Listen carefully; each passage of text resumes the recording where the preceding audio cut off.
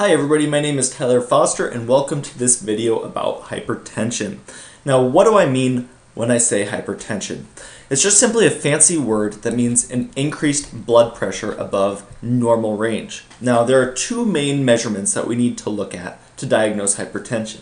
We need to take a look at the systolic level and then also take a look at the diastolic level. So let's make up a blood pressure. Let's say I have a patient that comes in with a blood pressure of 138 over 78.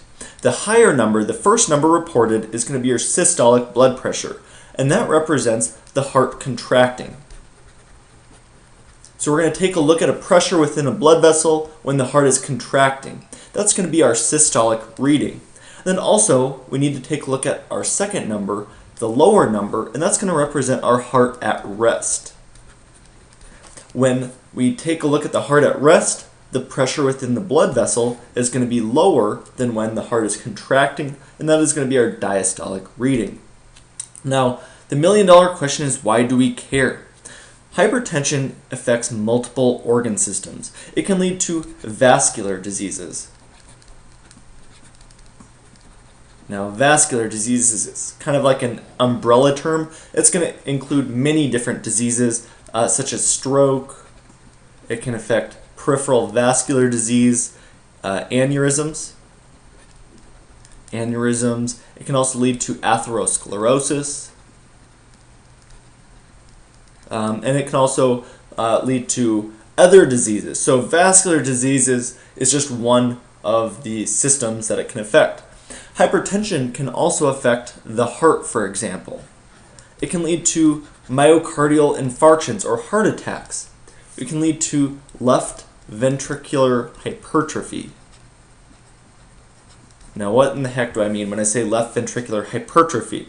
To explain this, I like to think of a gym. Let's say a bodybuilder goes in and works on their left bicep every day with increasing weights every day. Now, their bicep is going to get large. Same thing kind of holds true with the heart if the heart has to contract against an increased blood pressure or increased resistance, it's going to get bigger. It's going to have hypertrophy. So the muscle is going to hypertrophy, and that muscle is going to be your left ventricle. So um, if, if you have more resistance, you're going to get a bigger muscle, and then that can cause further problems. Now, hypertension can also affect uh, the kidneys in multiple ways. It can also affect the eyes. Um, many different many different systems included. So here we see the vasculature, we see the heart, the kidneys, the eyes, many more that I'm not going to list. Now, the symptoms. How do we see the symptoms present for hypertension? For the most part, the takeaway message here is most people with hypertension are asymptomatic. Now, they're asymptomatic because of this. Blood pressure fluctuates second to second, every minute to minute, every hour to hour, and every day to day. The blood pressure readings are never going to be the same. It's going to be a dynamic reading. Now, many different factors kind of account for this. Like breathing can affect the, the blood pressure, your mood, medications, hormone regulation within the body, your hydration status can even. So many different factors. Now, when the blood pressure fluctuates every second, Personally, I don't care. My body can regulate it well enough on its own. I don't need to be alerted or have symptoms that my blood pressure is fluctuating uh, on a second to second basis. Now, in the long term, let's say my blood pressure is 120 today. Two years from now, my blood pressure could increase to 160. Now, even though my blood pressure increased, every so often the body may reset our baseline blood pressure. So it thinks normal is now at 130.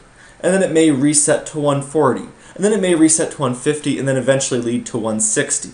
Now, people with hypertension are typically going to be asymptomatic. However, you can see some instances of end organ damage. Now, like I said, it's a multi system disease, so signs of stroke, signs of aneurysms, signs of heart attacks, that could all make you think, huh, do they have an underlying case of hypertension? So, some signs and symptoms of end organ damage or vessel damage could present with headaches. A patient comes in with recurrent headaches or a new onset of severe headaches.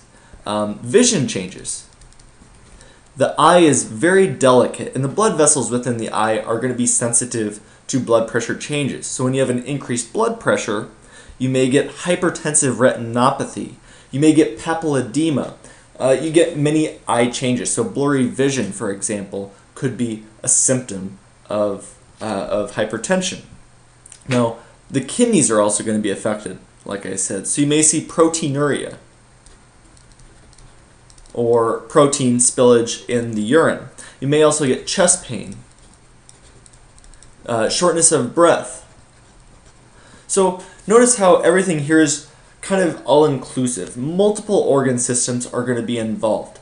Most people with hypertension are asymptomatic. However, if you have long standing hypertension, so long standing high blood pressure that is undiagnosed, um, you may start seeing symptoms related to all these uh, affected organs. Now, how do we diagnose high blood pressure? We need to first take a look at normal range. A normal range for a 0 to 59 year old is going to be anything below 140 over 90. So a systolic pressure of 140, a diastolic pressure of 90. Anything below this is considered normal if you're above age 60, we revise those guidelines to anything below 150 over 90. Older people have a little bit more leeway. However, if let's say an 80 year old comes in with a comorbid condition, if they come in with a comorbid condition such as diabetes or chronic kidney disease, we're going to revise them and stick them in the 140 over 90 category. So they need to be managed below 140 over 90. Anything below this is normal, anything below this is normal, um, except for our little kicker here, which is the comorbid conditions. Now, to diagnose hypertension, it's a systolic blood pressure above 140 or a diastolic over 90, um, and then same true with this. Now, we can also take a look at uh, the frequency. Now, I'm going to tell you a quick little story here you're going to walk into an outpatient clinic to see your doctor. Now, that doctor is going to be coming at you with this whopping, large 16 gauge needle pointed straight at you. Ah, your blood pressure is going to skyrocket. Now, I said blood pressure fluctuates on a second to second basis.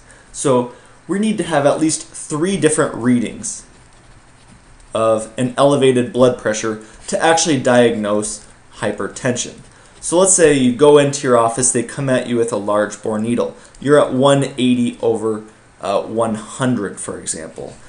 Not enough to diagnose hypertension. You do have high blood pressure, but you don't have hypertension.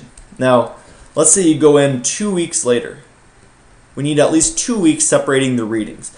You go in two weeks later, you're at 160 over 110. Still a little elevated, so we need to come back yet again we need to have that initial visit plus two repeat visits with elevated blood pressure to diagnose hypertension. So after that third reading, we can officially label you as a hypertensive patient. Now there are some factors that play into taking a proper blood pressure. You need to listen for the Korotkoff sounds, and that's going to measure your range of blood pressure. The patient needs to be sitting in a nice quiet room for at least five minutes with their heart uh, arms supported at the heart level. They don't need to have any caffeine in their system, and they don't need stimulants such as smoking, drugs, medications for at least 30 minutes or an hour prior to the reading. Also, some other things to think about that can play into the blood pressure reading. Uh, the cuff size uh, is important. The bladder, or the part that inflates of the cuff, needs to at least encircle 80% of your arm. Uh, there's a difference between a machine reading and a manual reading. Manual readings can be more sensitive, but they are subject to user error, such as like letting out the air of the cuff too fast, um, incorrect placement of the cuff on the arm. So you need to repeat any abnormal readings that you get.